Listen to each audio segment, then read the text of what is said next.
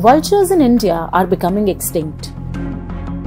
The birds are not only important for environmental health but also have considerable cultural and religious significance in India and elsewhere.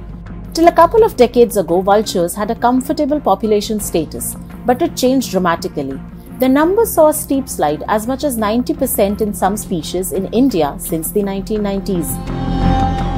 This is one of the most drastic declines in bird populations in the world. There are nine recorded species of vultures in India namely the Oriental white-backed, long-billed, slender-billed, Himalayan, red-headed, Egyptian, bearded, cinereous, and the Eurasian griffon. Between the 1990s and 2007, numbers of three presently critically endangered species, the oriental white-backed, long-billed and slender-billed vultures crashed massively with 99% of these species having been wiped out. The number of red-headed vultures, also critically endangered now, declined by 91%, while the Egyptian vultures by 80%.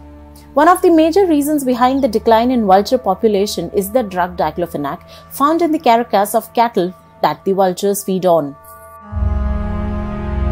While the Indian government has been carrying out a conservation project for the vultures since 2006, the plan is now to extend the project to 2025 to not just halt the decline but to actively increase the vulture numbers in India.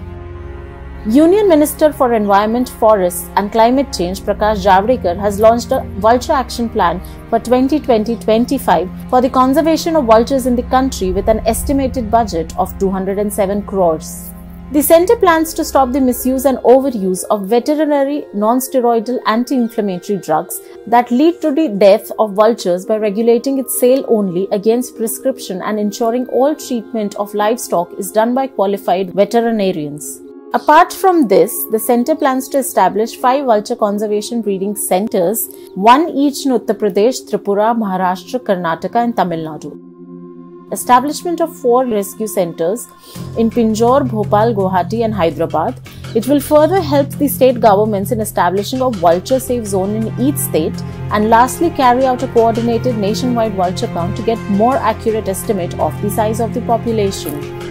Hopefully, these new breeding centers will be quickly set up and fast tracked into action to save these birds.